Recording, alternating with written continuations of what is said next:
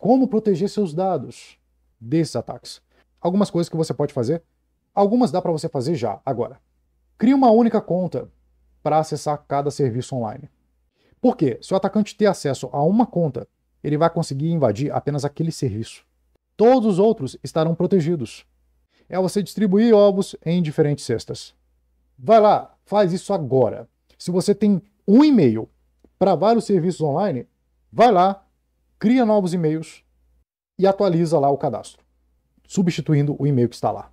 Mas Anderson, eu tenho cadastro em 20, 30, 100 serviços. Olha, você pode segmentar por tipo.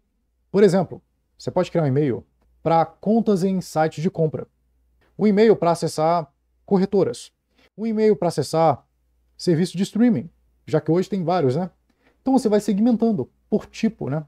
Tipo de serviço online. E vai criando, dedicando uma conta para cada um. Já vai distribuir seus dados e tornar difícil a vida do atacante. Uma vez que ele invade uma conta, ele não vai ter acesso a todas as outras. Crie e armazene senhas de forma segura. Criar senhas seguras e armazená-las com segurança. Seja no seu computador ou no seu smartphone. Que do contrário, a sua senha é o que protege as suas contas. Uma vez que você dá isso de bandeja ao atacante, facilitou a vida para ele. Ele vai invadir suas contas e você viu né, o que acontece a partir disso, né, as consequências disso. E sempre que possível, associe um código de 2FA, ou seja, uma autenticação em duas etapas para essa conta. Por quê? Se o atacante conseguir, porventura, ter acesso à sua senha, invadir o banco de dados lá, caso você não tenha armazenado com segurança, beleza, você ainda tem aqui ó, uma segunda barreira de segurança, que é o 2FA, um código que muda a cada 30 ou 60 segundos, que está em outro aparelho, inclusive, de preferência, né? Então, adiciona dificuldade ao atacante e segurança é isso. Você adicionar barreiras extras de proteção aos seus dados. Para que o, atacante desista de roubá-los. Mas claro, evite usar 2FA por SMS, né? Como você viu, o atacante ele pode ter acesso ao 2FA, seja pelo seu aparelho, através lá da, daquele golpe com aplicativo malicioso, ou então explorando a rede que não é tão segura, a rede celular que não é tão segura né, não há criptografia em mensagens de SMS. Então evite usar aí 2FA por SMS. Se você tem isso cadastrado nas suas contas, vá lá e substitua agora. Se você tem isso cadastrado aí no seu e-mail, na sua rede social, no Instagram, vá lá e altere isso agora. Troque para o 2FA por aplicativo, ok? Nem que seja o Google Authenticator. Utilize 2FA, autenticação por aplicativo, que é muito mais seguro do que 2FA por SMS. Evite se conectar a redes Wi-Fi públicas. Por quê? O atacante, na verdade, ele pode se passar pela rede Wi-Fi pública. Você está lá no Starbucks, aí tem um atacante que ele cria uma rede, um hotspot malicioso, com o exato nome Starbucks VIP. Aí você vê lá, Starbucks VIP, opa, eu quero ser VIP, né? Aí você entra na rede do cara e é uma rede com o objetivo de coletar dados sobre o seu computador ou roubar dados seus. Por quê? Quando você se logar nessa rede, vai abrir uma página do atacante. E é um recurso nativo, seja para smartphone ou computador.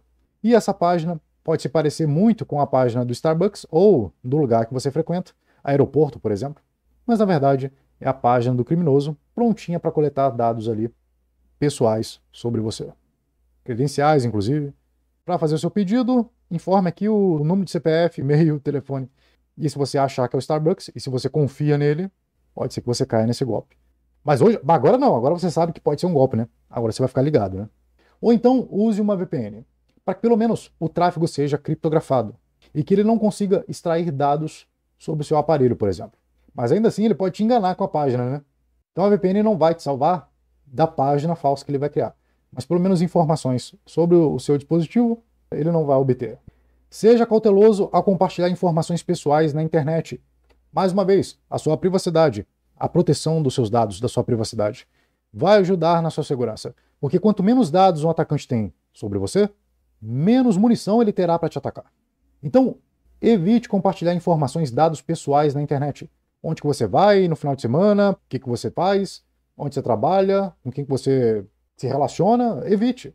Vai hoje mesmo, vá lá nas redes sociais que você tem e elimine dados pessoais, porque isso pode ser hoje, pode ser amanhã, pode ser o ano que vem poderá ser usado para te atacar.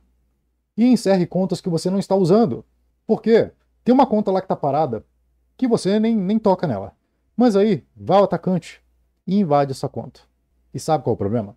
Você não sabe que a conta foi invadida, que você quase não acessa ela, você quase não usa. Então tem lá uma conta parada no Facebook que você não está usando.